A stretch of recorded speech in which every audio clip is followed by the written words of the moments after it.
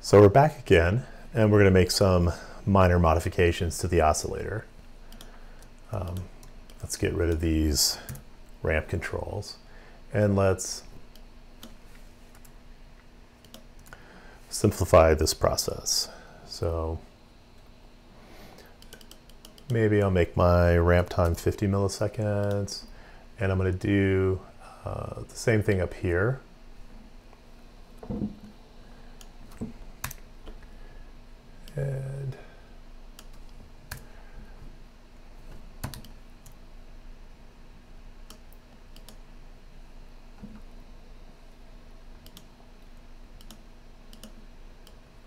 So it's what I had before, but I'm just, like I say, simplifying this a little bit. Let's check out another oscillator. Let's go square wave, rectangle. Um, arguments can change it from a pulse wave to a square wave. Sometimes when no argument, it's just going to be a square wave. And um,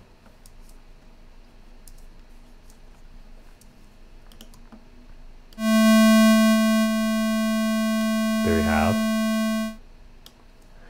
And be off with that. Don't need the bang anymore. Just try and keep this a little simpler. Now, uh, if I want to use my mouse to control these things, I can use an object called mouse state.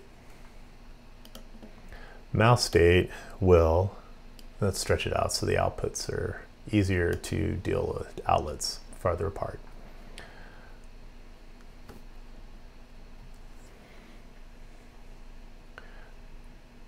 This will tell me if my button's up or down on my mouse. This gives me the X location and the Y. Uh, so let's get some floating point and floating point for X and Y. And we'll put a little comment.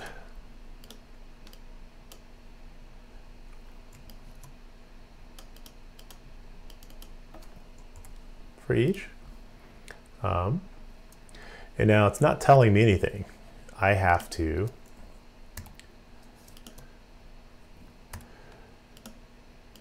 it. And it tells me X and Y. Now I can automate the process by using, say, a metro uh, with a time of 50 and a toggle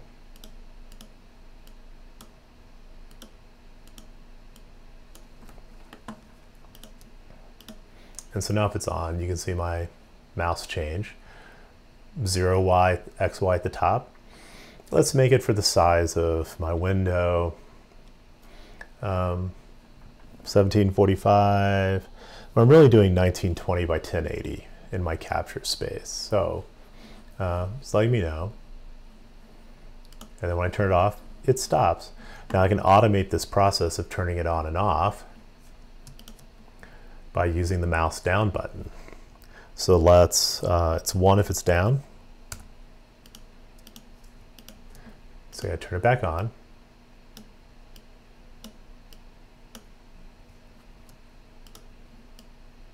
And actually it reports mouse button position regardless of being if on or off. So let's put a toggle here, right? And then I don't need this toggle.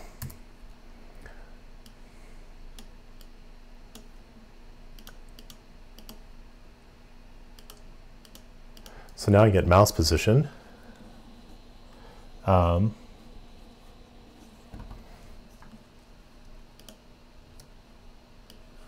whenever my mouse is down and not when it's up.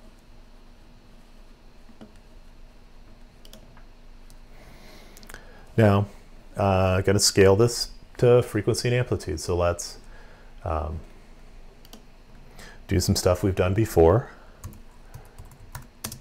with the LCD object, so scale. And 0 to 1920 is my input. And we're going to scale that from, say, 30 hertz to 2000. See my output.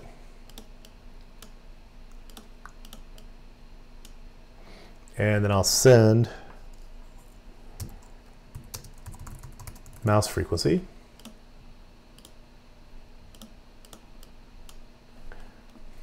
Receive that over here.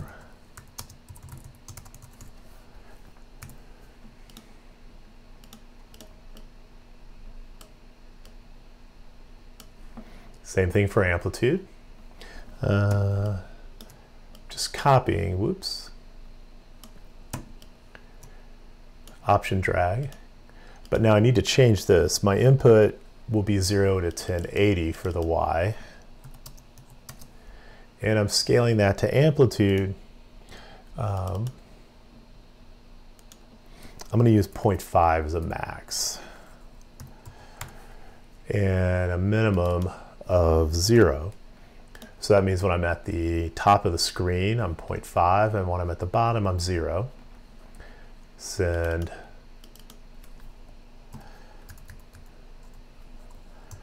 mouse amp and go over here receive mouse amp. So lock the patch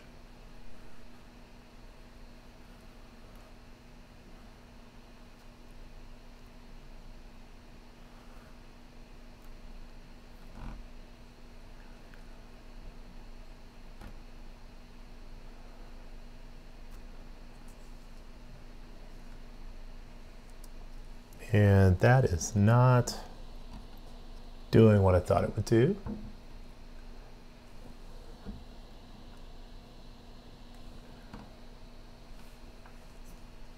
It is.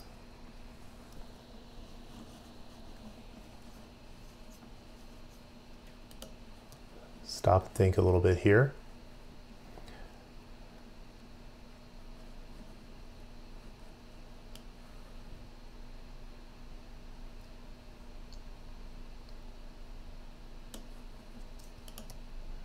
So from here,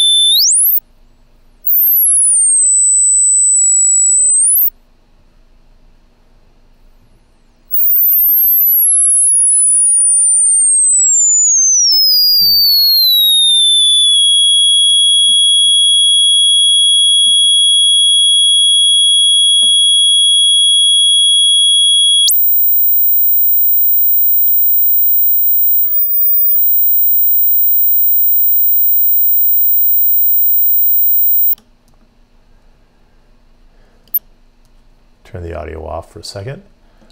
Uh, that's my X.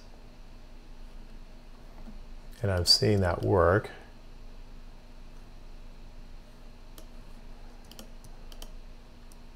Scale. Zero to 1920. My low frequency is going to be 30. My high frequency is going to be 2000. Okay, so I'm not sure why that wasn't working. Um,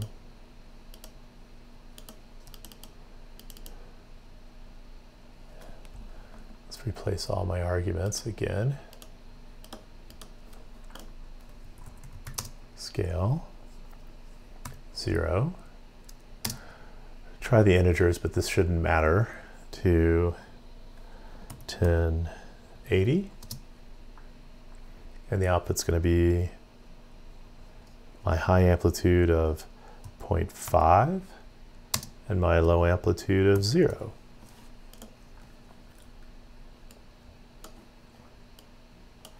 Okay, so not sure what just happened, but I must add a typo. Turn audio back on.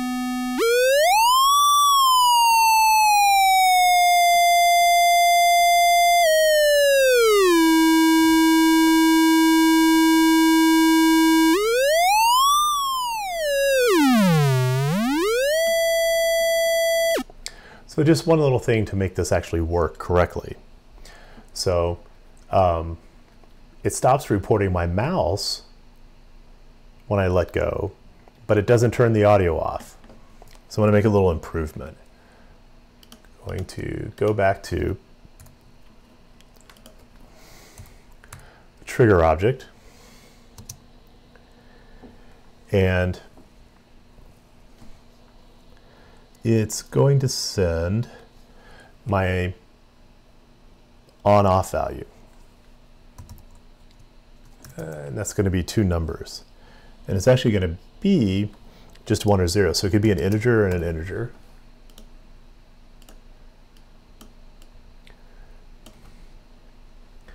And the first thing I want it to go to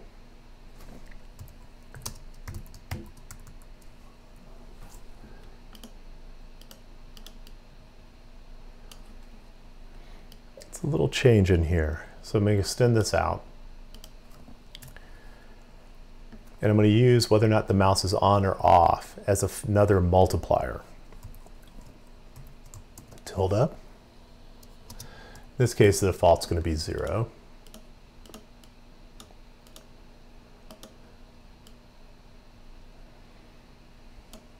And I'll receive on off. And we can convert it to a float and set it into the argument. So when the mouse is off, this will be zero.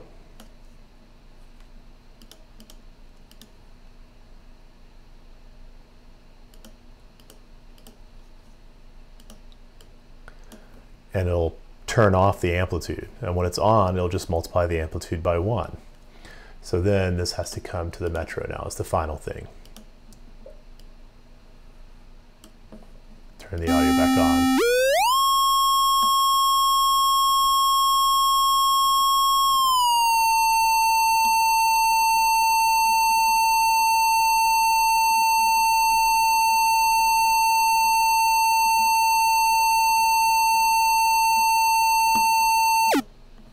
And to make this work, it actually has to do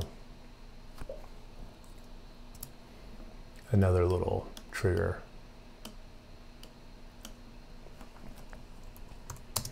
And which is going to be the floating point value first and then a bang. So it's all about order of operation for the non-audio signals. The floating point is still here.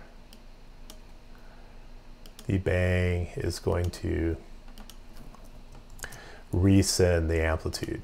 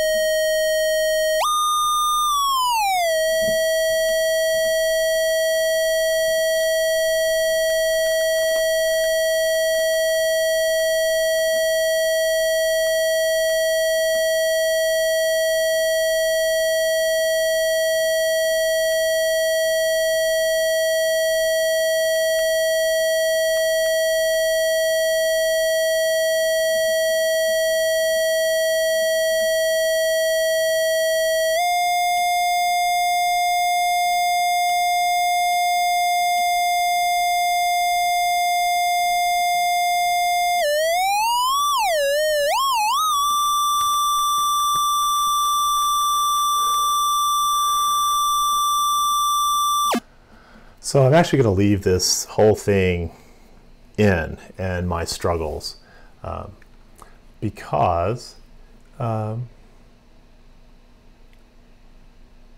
my send and receives aren't working. The reason this is not working, uh, pay attention to my amplitude now and um, you'll see why um, this doesn't work and I won't actually need this anymore, but follow the mouse when I lock my patch.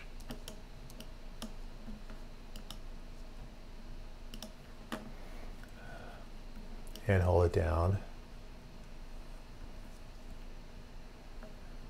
And notice as my amplitude is changing, nothing's changing over here.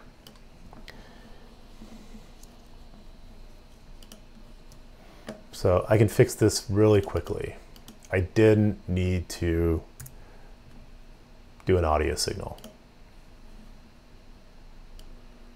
Now, as my amplitude changes with the mouse, it changes over here. When I let go, it's a zero. So I was sending audio signal to a message rate object, and that's not going to send. Number doesn't understand signal. Um, so what was happening, signal is trying to send the signal. This acts like a patch cord. So it's not the send and receives. The problem is as if I connected my audio signal to this number box and it didn't like that. So I wasn't looking at my console. So now this will work. Let's go back here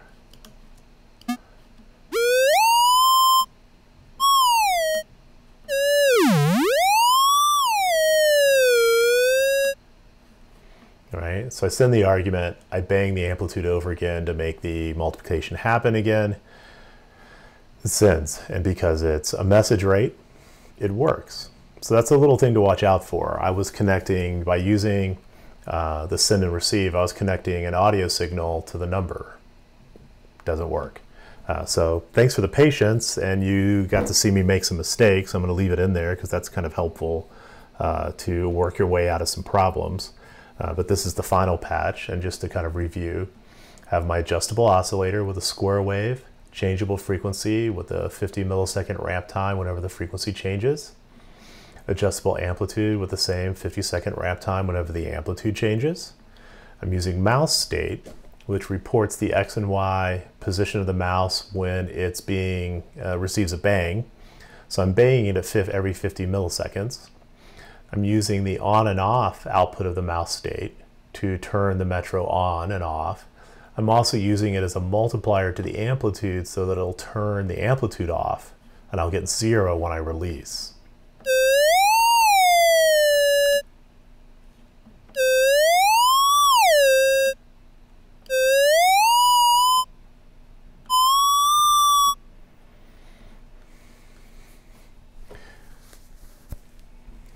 Go through. And so that's a mouse theremin, just using your mouse on the screen and a locked patch. You change. So have fun, play around with these some bit, and uh, I'll be back on Monday.